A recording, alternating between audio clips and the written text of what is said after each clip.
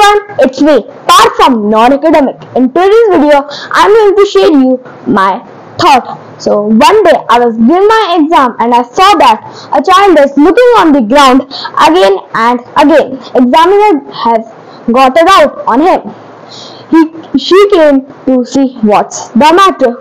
She saw that he is cheating by the cheats he, she takes his all the chits and give it to the exam inspector.